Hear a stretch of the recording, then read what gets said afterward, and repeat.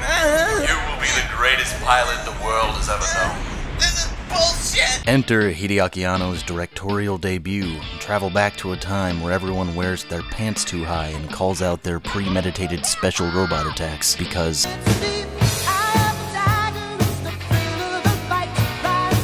Noriko and Kazumi are chosen to grace the skies with their just sexual enough to still be considered leotards because they're the best Japanese robot pilots in their class except for the protagonist who got in because some idiot with brain cancer sensed her potential or something. Friends die because of her incompetence, but it doesn't matter because こぼれた水はまた汲めばいいそれだけだ Soon they make friendship with Mother Russia, the hot-blooded foreign redhead, who thinks she's better than everyone else and can't seem to keep her titties put away. Sound familiar? Mm, you know the old saying, birds of a feather are the worst girls in their respective series. Did you know? When Anno wasn't busy godfathering in some of the most recognizable mecha tropes and traits, he and his team were pioneering the goddamn booby bounce.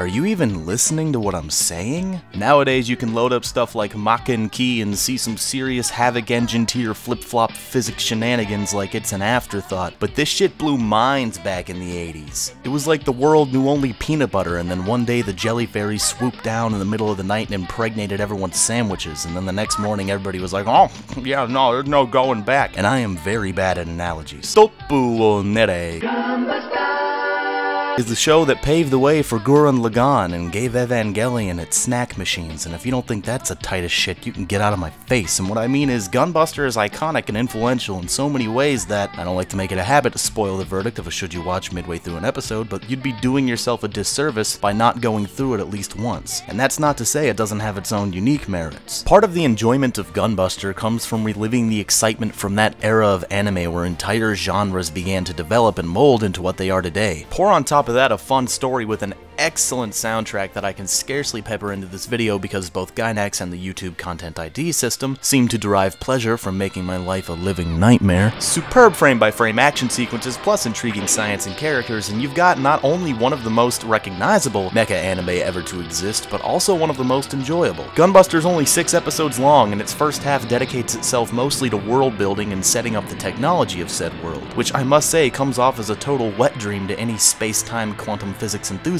even if the science itself is a bit dated. And if you were to come at me with a script and say, okay, we've only got six episodes and we're gonna start out kinda slow, I would Inazuma kick you and your concept of pacing right in the balls. But if there's one thing that Gunbuster excels at, it's being able to keep you intrigued to what's going on most of the time, even when it takes four actual episodes to see what these guys are even fighting. Some of Anno's oldest works are his best, and Gunbuster is no exception. Everyone praises Eva for being the poster child of mecha existentialism, and that's because it's fucking masterful, but Gunbuster did it first, if on a smaller scale. Any Evangelion fan will later on notice that Noriko and Shinji even share a lot of similarities in their character, like Anno just cut her hair and gave her a penis, obviously without explaining how to use it. And not to parrot my words from my Evangelion videos, but it's this believable inclusion of humanity within an otherwise sci-fi character and setting that help the viewer associate themselves with the hardships and trauma being presented, and makes for a more heartfelt and memorable experience. Now keep in mind that this is an old anime, and while it's aged much better than others in its time period, there are still a few script, pacing, animation, and sound design quirks that might put off some of those coming from a more recent era at first glance. Anno's great,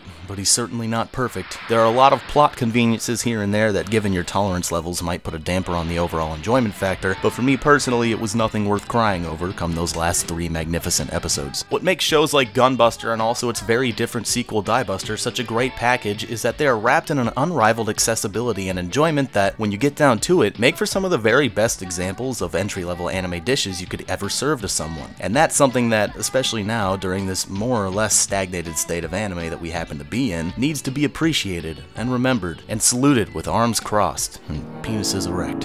Should you watch Aim for the Top Gunbuster? Yes.